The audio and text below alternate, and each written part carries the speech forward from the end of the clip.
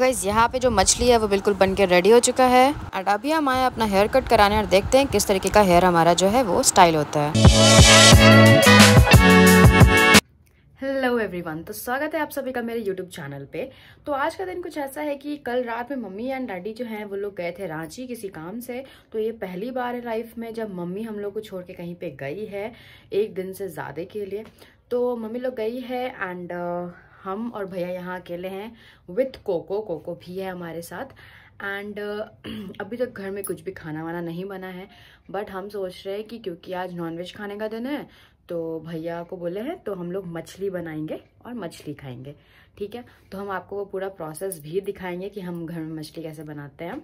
और सब कुछ हम खुद से करेंगे. रोटी खुद से बनाएँगे चावल खुद से बनाएँगे मछली खुद से बनाएँगे एंड सब कुछ खुद से बनाएँगे हम. ठीक है? क्योंकि और कोई यहाँ पे है नहीं हेल्प करने के लिए. दीदी आई थी काम करने के लिए, वो भी चली गई।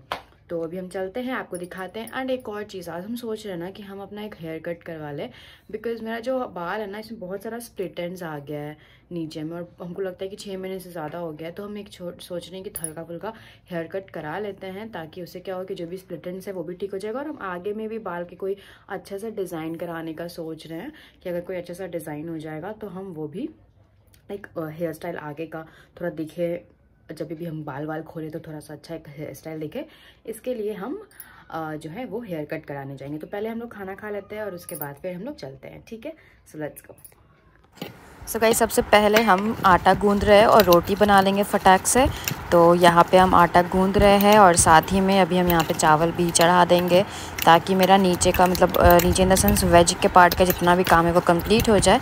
फिर हम डायरेक्टली नॉन वेज में जाएँगे बिकॉज़ हाथ धोना एंड ऑल बहुत झंझट होता है तो इस वजह से। तो यहाँ पे हम चावल भी ले लिए, उसको अच्छे से धो लिए और फिर अब पानी डाल के उसको चढ़ा देते हैं ताकि चावल में एक सीटी आएगा। मतलब ये बन जाएगा और फिर दूध भी खला लिए हैं ताकि शाम में अगर हम लोग कुछ दूध वूध पीने का मन करे या फिर शेक वगैरह बनाने बनाने का मन करे तो वो भी हम लोग बना सकते हैं। तो अभी हम फटाक से बना लेते हैं और फिर डायरेक्टली चलते हैं मछली के प्रोसेस में। सो गाइज़ नीचे तो हम सारा काम कर लिए, रोटी बना लिए, चावल बना लिए और दूध भी ये कर लिए बॉईल कर लिए। अभी हम यहाँ पे मछली को भी मैरिनेट करके रख दिए थे आधे घंटे पहले। एंड यहाँ पे हम क्या किए कि मैरिनेट करने के बाद तेल डाले कढ़ाई में और उसको अच्छे से गर्म होने के लिए रख दिए हैं। एंड जब ये अच्छे से गर्म हो जाएगा उसके बाद ये मैरिनेटेड फ़िश जो है ये हम लोग डालेंगे। तो देखिए मैरिनेट करने के बाद ना क्योंकि जो नमक वगैरह भी हम डाले थे तो जो पानी वानी छोड़ना था वो छोड़ चुका है। तो अब हम लोग इसको प्रॉपरली पकाएँगे। तो यहाँ पे तेल जो है हमारा वो हो चुका है गरम। और अब एक एक करके हम इसमें मछली डालना शुरू करेंगे। तेल को आपको तब तक गरम करना है जब तक उसमें से धुआँ नहीं आने लगे तभी मछली जो है आपको वो प्रॉपरली फ्राई होगा। तो देखिए मेरा जो तेल था वो एकदम गर्म हो गया और इसमें हम डाल दिए हैं मछली एंड ये मस्त तरीके से पक जाएगा। सारा मछली जो है मतलब एक लॉट का कम से कम छः से सात मछली आप इतने तेल में एक बार में डाल सकते हो, कोई इशू नहीं है। एंड उसके बाद डालने के बाद आपको इसको चुपचाप से छोड़ देना है, ठीक है? देखिए, अभी हम एक बार में छः से सात पीस डाल चुके हैं। अब इसको पाँच मिनट तक कुछ नहीं करेंगे, चुपचाप से अच्छे से पकने देंगे, ठीक है? ना ही हिलाना है, ना कुछ। और अब देखिए, पाँच मिनट हो गया है। पाँच मिनट के बाद हम इसको टर्न किए और ये देखिए कितना सही गोल्डन ब्राउन कलर आया है।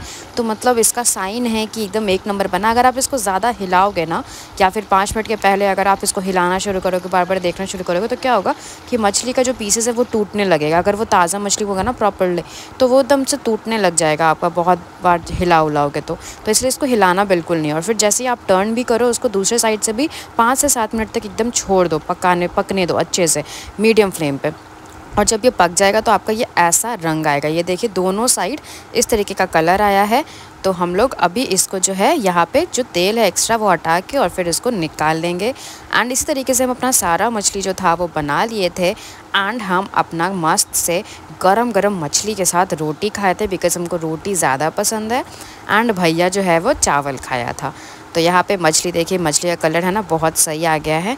और उसके बाद अब हम खाते हैं बिकॉज़ हम अकेले क्या ही, कैसे ही शूट कर पाएँगे। तो इस वजह से हम इसको खाते बेसिकली हम आप लोग को प्रोसेस दिखाना चाहते थे मछली का, कि हम कैसे बनाते हैं तो वो हम दिखा दिए। तो अभी हम लोग चलते हैं खा पी के अपना हेयर कट कराने, ठीक है? सो so इस खाना खाने के बाद हम आ गए थे यहाँ पार्लर में हेयर कट कराने के लिए। एंड ये पार्लर काफ़ी अच्छा भी था और हम फ़र्स्ट टाइम आए थे यहाँ अपना हेयर कट कराने के लिए, कभी पहले कराए नहीं थे। तो इस वजह से हम यहाँ पे आए हैं। एंड अभी वेट कर रहे हैं थोड़ा, क्योंकि अभी दूसरे कस्टमर का हो रहा है तो थोड़ा फ़ोटोशूट वगैरह कर लेते हैं। एंड अभी अब मेरा शुरू हो चुका है यहाँ पे हेयर कट ठीक है? तो अभी आप लोग उसको इन्जॉय करो।